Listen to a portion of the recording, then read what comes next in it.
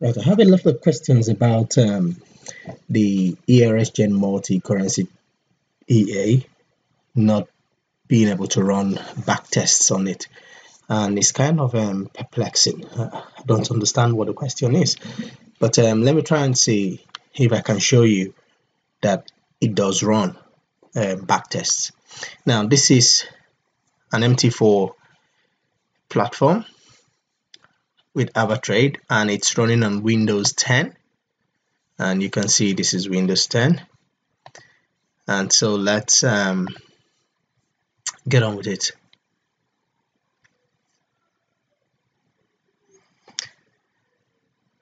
So we get to the market tab and we look for ERX Gen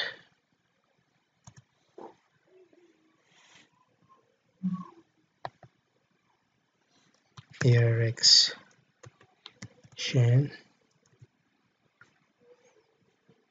Now that's the multi-currency trade. Okay, and that's it. Test, and I select GBP USD.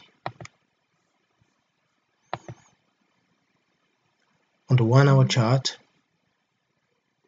4 pips spread on the GBP USD between January 2015 and June 2017 use data use date visual I put it to the maximum and then go to the expert properties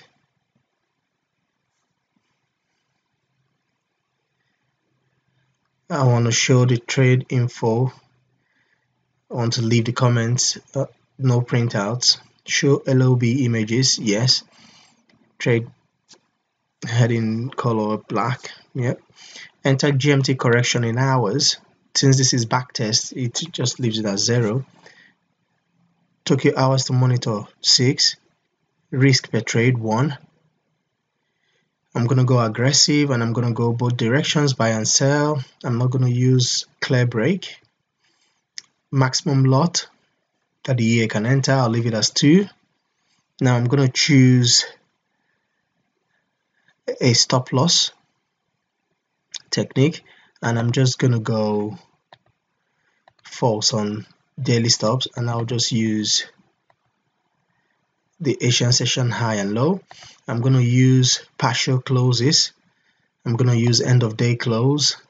No EMA close.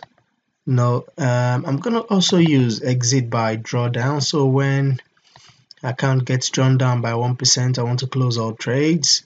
And I also want to do this. So I'm just going to go one, one to one. So 1% as well on that one since I've already set the stop loss I'm just gonna leave the manual stop loss and targets. So profit partial profit I'll take at 20 25 pips and second one I'll take at 50 pips. I'll use break even and I'll move to break even at 50 pips and I'll lock 25 pips in. I'll use trailing stops and I will start to trail at 50 pips enter candle to trail loss stop loss I'll just say maybe a candle 3 and the grid I'll just leave the grid as false. And just go OK and then I'll hit the start just to make this clear I'm just going to close the market tab and leave the strategy tester and the chart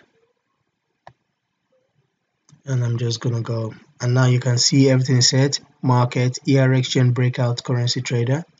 And I'm just gonna go start.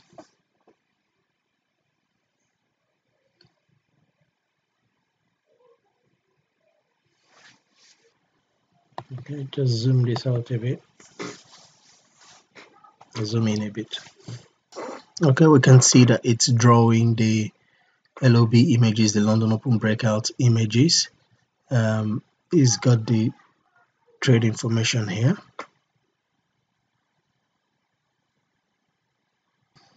You can see on this particular day we have no trending. Rule number two is not okay and rule number three not okay so there's no way trade should have been taken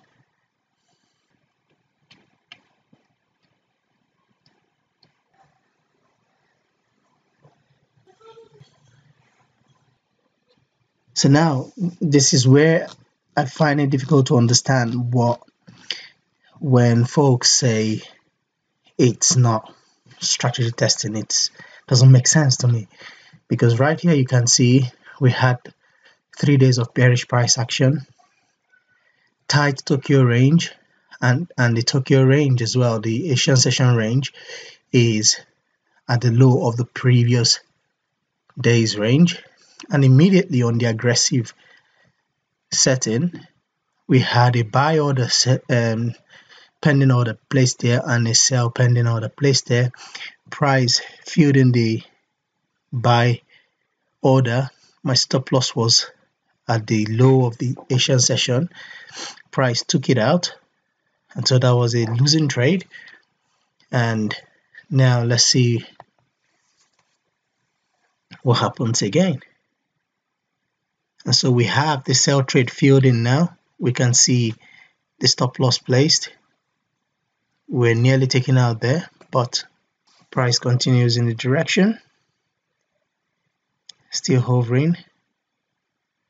Still hovering. You can see account information is red showing that there is the trade is is in the red. And now we have the trade in slightly in the green and we had 20 20 lots micro lots. Now it's been reduced so 50% of the trades trade has been closed.